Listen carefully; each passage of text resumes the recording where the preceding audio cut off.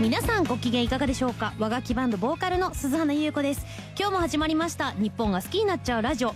今週も楽しくお送りしていきたいと思います。この番組はラジオの前のあなたと一緒に作っていく番組です。ぜひツイッターで感想をツイートして盛り上げてください。ハッシュタグは鈴花ジャパン。番組アカウント鈴花アンダーバージャパンのフォローもよろしくお願いいたします。さて和楽器バンド、えー、日本武道館での公演から今年は始まったんですけれども、えー、私がですね今回ステージ上で使わせていただいた岐阜和傘なんですけれどもなんと桔梗の形をしているものでした、えー、どんなものかというのはインスタグラムなどに載せてみたのでぜひご覧いただきたいんですけれども、えー、この和傘もですね若手の和傘職人さん河合美子さんが手がけてくださった和傘なんですけれども日出し美術館の方に展示されていたのでその期間中は和楽器バンドに出張中という風な形で、えー、日本武道館に来てくれて、えー、それをもってパフォーマンスをしたんですけれども吉原ラメントをそれをもって歌ったんですが撮影を OK にしたので SNS 上でももしかすると、えー、見てくださった方もいらっしゃるかもしれないんですけれども歌舞伎と同じサイズの和傘でできていて非常ににずっしり大きな和傘で、えー、美しいんですけれども内側が紫色で外側が水色でという形でコントラストもねえー、はっきりしていて丸い形じゃなくて桔梗の形をしていて桔梗がパッと咲いたような和傘なんですね。現在和傘の職人さんが非常に減っているという状況で若手の職人さんたちがですね一般の方にもこういった素敵な傘があるんだよというのを知ってほしいということでいろんな作品を手がけていらっしゃるものなんですけれども和楽器バンドの全国ツアー30公演を通して今回は岐阜和傘の樽募金をさせていただきました。和傘職人の後進の育成に充てさせていただくものとして集めた額、えー、約570万円を、えー、代理でお届けしてまいりました。ご協力いただいた皆様ありがとうございます。和楽器バンドはですねえー、第4弾として今度は沖縄県に伝わる、えー、三振やエイサーなど伝統芸能文化楽器製造への支援を行うこととして、えー、武道館からまた開始しておりますのでぜひホームページをチェックしていただければ嬉しいです、えそして本当はねコロナがなければ4月の23日24日と2日間えー、和楽器バンドのデビュー日を記念してライブを沖縄で行う予定があったんですけれども今回、えー、無期延期となりました。えただ延期なので中止ではないのでまた、えー、状況を見ながら発表できる日を私たちも楽しみにしております。ということでホームページをぜひチェックしていただければ嬉しいです。それでは今日の1曲目参りましょう。和楽器バンドで「ささめゆき」あやなす君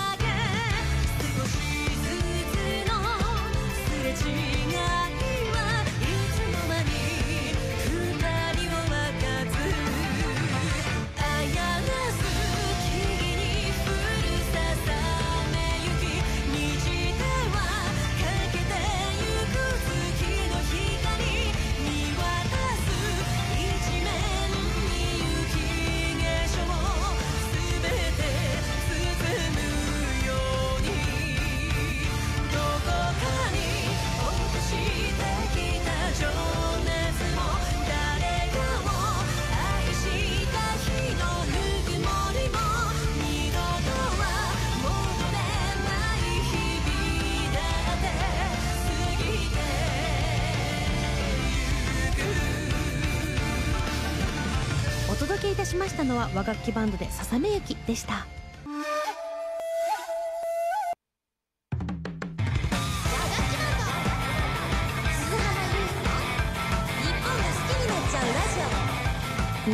きになっちゃうラジオ和楽器バンドボーカルの鈴花優子がお送りしております。さて今週は和楽器バンドのメンバーからこの方に来てもらいました。どうぞ。はい、えー、和太鼓担当の黒名です。よろしくお願いします。よろしくお願いします。黒田さん今年も1月、えー、9日にはですね、うん、えー、和楽器バンド年に一度の大新年会という大きなライブが日本武道館でありましたけれども、はい、あのそれ以降の登場初だと思うので、はい、どうでしたか？武道館。まあ実際ね、うん、今あのもう終わった瞬間なんだけどね。収録だからね。そうそうそうそう。もう声が枯れてますが。えっと本当にあの武道館って空間がやっぱりメンバーもね、はい、毎回みんなも言ってるけどすごく特別な意味があって、うん、あとやってて気持ちいいのね。気持ちいいですね。なんか神秘的な力が感じるぐらい気持ちいいですよね。ね。であの広く奥の方にお客さんがいるんじゃなくて、はい、目の前の上の方にいる感じ囲まれてる。そうそうそう。あの感じがやっぱすごく楽しかったですね。はい。あの久しぶりにあのキャパシティも広がって、うん、えー、和楽器バンドカラーである紫のペンライトみんなが持ってるんですけれども、うん、そその海の中にいるという光景で非常に感動的ではありましたね。うん、ねありがたいですね。ありがたいです。あの今回見どころたくさんで、はい、いろんなあのエンタメが、えー、盛りだくさんなんですが、はい、そんな様子がですね、えー、近々放送予定があります、はい、えー、2月27日の日曜日19時からワウワウプラスで、えー、テレビ初独占放送が決定しておりますのでありがとうございます。ありがとうございます、えー、和楽器バンド大新年会2022日本武道館野草見聞録ぜひご覧ください。よろしくお願いいたします。よろしくお願いします。えー、ということでここからは勝手に日本豆知識のコーナーなんですけれども、はい、はい、季節や行事風習から後世につないでいきたい文化まで日本に関する豆知識を分かる範囲でご紹介していきます。今回ご紹介するのは梅祭りということであの実は私今、うん、梅のネイルをあしらってるんですけれども。本当だ。梅をふんだんにあのネイルの中に、えー、埋め込んでるんですが、はい。えー、梅祭りといえばですね、あの、私地元茨城県の水戸なので、えー、日本三大名園の一つである偕楽園の梅祭りは有名なんですが、黒田さん地元で梅祭りとかあったりしました？調べてみたんだけど、はい、地元ないんだよね。そうなんですね。東京だと、まあ、東京生まれなんであれなんだけど、はい、湯島天神のお祭りそうそれはちょっと行ったことあったりするね。いいですね、うん、まあ東京って言ったらたくさんありますし。そうだね、はい。うん、結構あのいろんなところで楽しめると思うんですがあの昔はですね、えー、日本は桜ではなくて梅の花で花見をしていたと言われているんですよね。はい。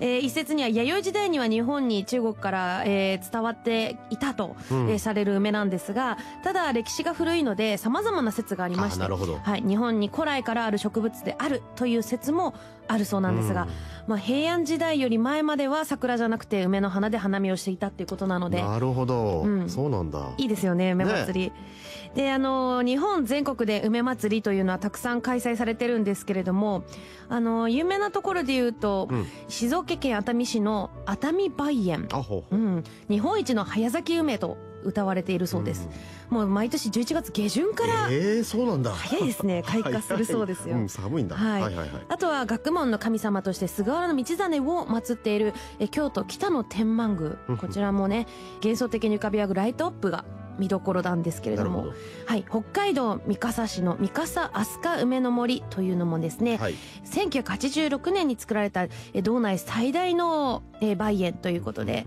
ちょっとだけ水戸の自慢していいですか？おおどうぞどうぞ。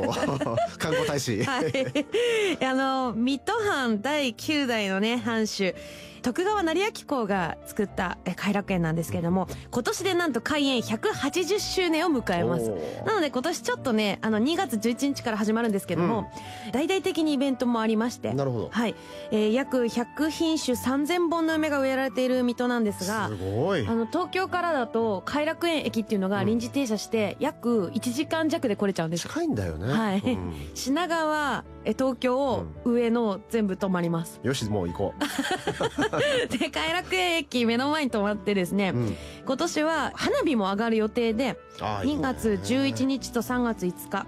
私が作った水戸黄門祭りのイメージソングがあるんですけれども、はいはいいざ水戸黄門祭りという曲に合わせて花火が打ち上げられる予定です。なるほど。この季節で花火見れるのはディズニーランドか。水戸の偕楽園だね。なるほどね。あと3月末までチームラボと偕楽園のコラボイベントでライトアップがうわあ見たいこれ。開催されてまして、うん。あのホームページ見るだけで行きたくなりましたう私。ん。結構綺麗な感じでそんな中今年実はですねお、まあ、コロナ禍があるのでどうなるかわからないんですが予定しておりまして、はいはい。3月6日に花風月がですねお。水戸の梅祭りとコラボしてお。ライブを開催することにいたしました。あらはい特設ページとかも作って梅祭りとのコラボでどんなことやるかっていうのも、えー予定しておりましてあの水戸のゆるキャラの水戸ちゃんもライブにちょっと来るという噂があるので、えー。えーぜひ詳しくはホームページを見てみてください。よろしくお願いいたします。ます。黒田さん、来る可能性ないですか？これあれだね。ブロガーのあのライブ終わった後に はい。花風月と朝と俺で話してたやつでそうです。じゃあちょっと見と行くかって朝と黒田さがそうん仮押さえしとこうって。これだ。これですね。はい。はい。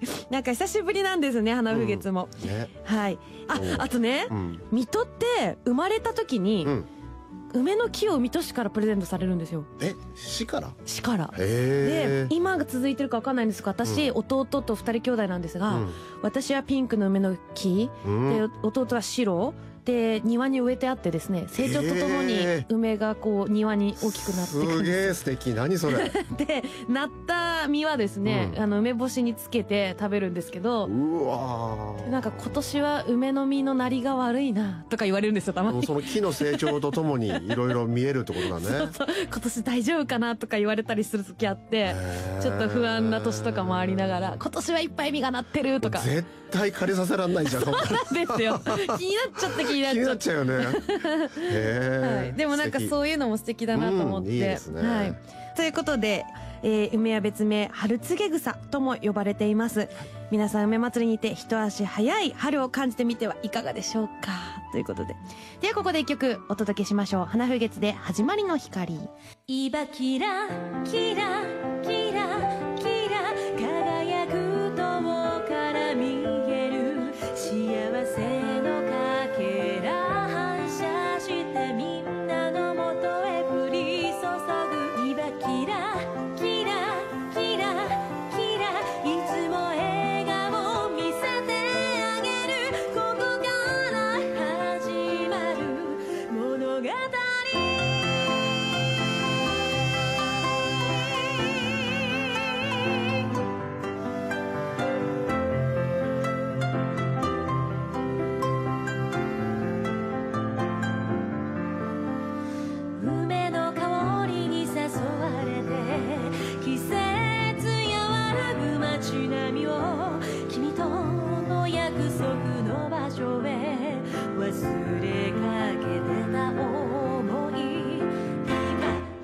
聞こえる。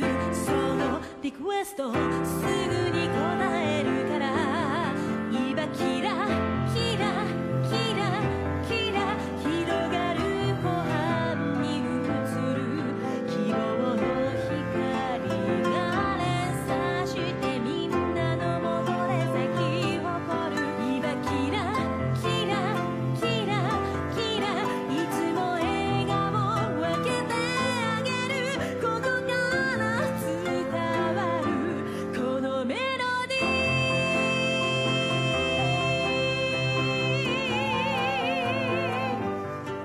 届けいたしましたのは花風月で始まりの光でしたここでお知らせです。和楽器バンド大新年会2022日本武道館野草見聞録が、えー1月9日に開催されましたが、えーワウワウプラスで2月27日19時からテレビ初独占放送が決定いたしました。詳しくはぜひ、ホームページをご覧くださいませ。えーこの機会にですね、えーぜひ映像でも楽しんでいただければと思います。えそして私が、えー組んでいるユニット花風月。3人組のユニットなんですがコットー尺八と私のピアノ弾き語りのユニットが、えー水戸市の梅祭りとコラボしたライブを水戸市常陽芸文センターにて行います、えー日付が2022年3月6日の日曜日。今回昼の公演と夜の集いと2ステージを行う予定でして昼の公演は花風月コンサート。梅の香りに乗せてということでライブをたっぷりとお届けします。そして夜春の集いこちらは花風月ライブイベント梅とほっこりタイム2022ということで夜はですねえ少しイベントのような形で演奏もお届けはするんですけれどもえプレゼント企画ですとかトークもたっぷりお届けしつつ普段はなかなかやらないソロの演奏でしたりカバー曲なども含めて、えライブイベントとしてお届けしたいと思います。詳しくはホームページをご覧ください。えそして私ボーカルマガジンウェブにてコラムも連載中でございます、えーリットミュージックさんの方で、えーやっている歌いろはぜひ、えーチェックしてください。よろしくお願いいたします。和楽器バンド。鈴原優の日本が好きになっちゃうラジオ。和楽器バンドボーカル鈴花優子がお送りしている日本が好きになっちゃうラジオ。今回は和楽器バンドメンバー和太鼓の黒名さんと一緒にお送りしています。黒名さん後半もよろしくお願いします。よろしくお願いします。えさてここからはですね、はい。こんなテーマで、えー楽しんでいきたいと思います、はい。我が町の日本一を教えてください。ということでこちら以前番組のコーナーアイデアを募集した時に、えーラジオネーム、えー、幸幸さんに送っていただいたメッセージを参考に、えーさせていただきました。ありがとうございます。黒名さんの地元の日本一って何かあります？ねこれもね調べたらね、全然ないんだけどね。なんか都電が走ってんなぐらいね下町だからうち。なんかでも、うん。東京ってピンポイントじゃないですか、ああまあそうだね。東京で言ったらいっぱいありますもんね。とそうだね。東京タワーあるよとかさ。すごいよねそれね。まあ私あのさっき話した通り、はいはい。あの水戸出身なので。なんかまあねいっぱいあるよねそっうんちの方、水戸の偕楽園とかですね。ううんんまあいろいろ他にもあるとは思うんですけれども、今日はまずはあのリスナーさんのたくさん来てるので、はい。本当にいつもたくさん皆さんありがとうございます。とうございます。これを中心にね紹介していきたいと思うんですが倉さん気になったのありましたか？はい、えー、ラジオネームとまこさんたまこさん。はいありがとうございます。えー愛知県は木魚生産数が日本一、木魚？すごいよね。知らない。というか木魚は今愛知県でしか作られていないそ、えーようです。そうなんだ。うん手作りなので制作に10年から15年かかるらしいです、なんか知らないことだらけで今ちょっと情報量が多くてそうなんですね。職人さんも数えるほどしかいない状態、えー和傘同様に後継者不足が心配になります。いやこういうところも知らないからなるほどね。いいですよね企画になってね。うん。今私たちタルボ金とかやってますけど、うん木魚の生産数とか気にしたことないですそのもんね。10年から15年っていうのが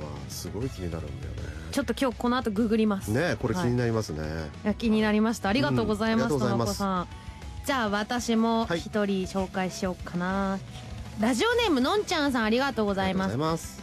沖縄県の金町という場所だそうなんですがえタコライス発祥の地で、うん。ギネス認定の世界一大きいタコライスを定期的に作ってます。なるほどなるほど。あとは日本一に輝いたエクレアがあるケーキ屋さんと日本の名水百選に選ばれたウッカガーという湧き水があります。ということで。へいやいいですね。あの沖縄県ん。大好きでー、うんうんうん。あの本当はね和楽器バンドも沖縄でライブする予定が実は4月にあったんですがねコロナの影響でうん。今、あの無期延期状態なんですが、こういう情報があると行った時にね、うん。あの楽しめるしそうね。はい、なんか一生懸命日本一を作ろうとしている感じすごい好きでした。タコライスに、でっかい何かってそれすごい大好きで。あれすごい参加したいんですよね、はい、ありがとうございます。情報いただきました。黒田さんどうぞ。はい、えーラジオネームちーやんさん。ちーやんさん、はい。ありがとうございます。えー長野県箕輪町はフェンシングの町です、えーはい。えーフェンシングの全国大会も箕輪町で開かれています、えー。えー昨年の東京オリンピックでも、えー箕輪町出身の選手が出ておりました、えー2012年からは学校給食にフェンシング丼というのが出ているそうです。とのことなんですね。めっちゃフェンシング推しなんですね。ちょっと調べてみたら、はい。昭和53年に山彦国体っていうのが、なんか決まったらしくて長野県で、はい。その5年前からもう長野県さんは、はいこれはもう決まったからってことでフェンシング協会を作って、ええでそういうのをいっぱいそこら中でその指導者を呼んではい。力を入れたらしいんですおね。ー。なのでもう本当に力技で皆さんの努力で よしやるぞって言ってこのフェンシングの街にもうしたっていうのをあの調べてみたらすごいなと思って。自治体の努力を感じますよね、はい、すごい これはね見ててあなるほどなと思って熱意を感じましたね。ありがとうございました。えーでもう一人じゃあ私も。ラジオネームあやかさん。ありがとうございます、日本一のダイソーがあります。おビルの上から下まで全部ダイソー全部100円。あいいな。大体の生活用品揃います。うっかりすると、えー数千円分カゴいっぱいに買ってしまいます。これ行ってみたいなーって思ったんですけど、一日中いたいな。これ100円っていう感動の連続が絶対ありますよね。死ぬほど買っちゃうやつね。ありがとうございます。ということで今回もはい。たくさんの日本一自慢来たんですが、うん。えー紹介しきれなかったものはアフタートークの方でも、えー紹介していきたいと思っております、はい。えーそして本編で紹介させていただいた4名の方には番組オリジナルステッカーをプレゼントいたします。当選した方には番組スタッフがツイッターでダイレクトメッセージをお送りしますのでお見逃しなく、それでは今日のラストナンバーいきましょう。この季節なので冬の曲をいきたいと思います。和楽器バンドで「雪を舞い地でそなたに向けて」春はまださぬ空は曇りのち雪へ変わる灰色の空見上げてもあなた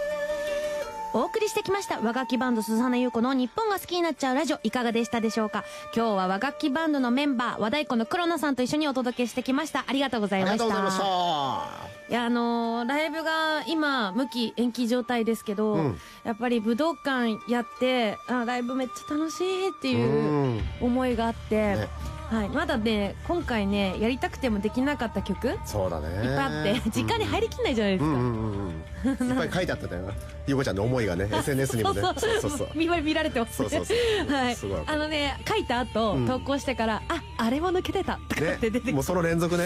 あ天学抜けてたなとか、ね。出てきちゃって、まあだからライブ1回1日っていうのはうん。やっぱり物足りなくなっちゃって、うん。はい早くやりたいなって思いました、あーそうね、はい。もうすぐやりたいね。うん。